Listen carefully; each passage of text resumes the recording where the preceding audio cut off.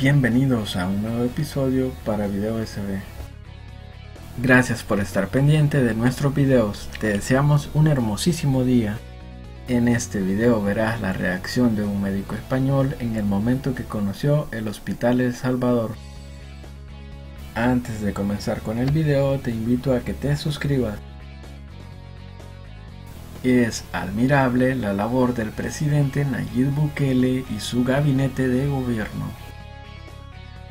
Nayib Bukele ordenó restaurar todos los hospitales del país y construir nuevos hospitales modernos. Entre los nuevos hospitales se encuentra el Hospital El Salvador, el cual es el más grande y moderno de Latinoamérica. Romeo Rodríguez, el ministro de Obras Públicas, ha realizado una excelente labor al dirigir esta entidad de gobierno. Asimismo, es bueno mencionar el buen trabajo que realiza el ministro de Salud, Francisco Alaví.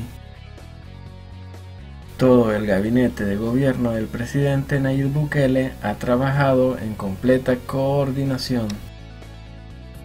Es maravilloso ver los alcances que ha logrado el gobierno del presidente Nayib Bukele en el país. Sin duda alguna, por eso se ha ganado el primer lugar en la lista de los presidentes mejor evaluados del mundo. Nayib ha mejorado la seguridad, la inversión, la economía, la salud, la educación, etc. En este video queremos mostrarte el avance que se logró en salud al construir el hospital más grande de Latinoamérica. Te mostraremos la impresión de un médico europeo que da su opinión del nuevo hospital.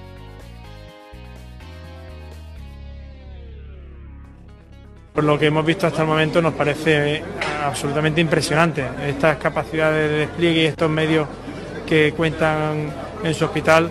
Ya quisiera haberlos tenido yo en el pico de la pandemia en el sur de España.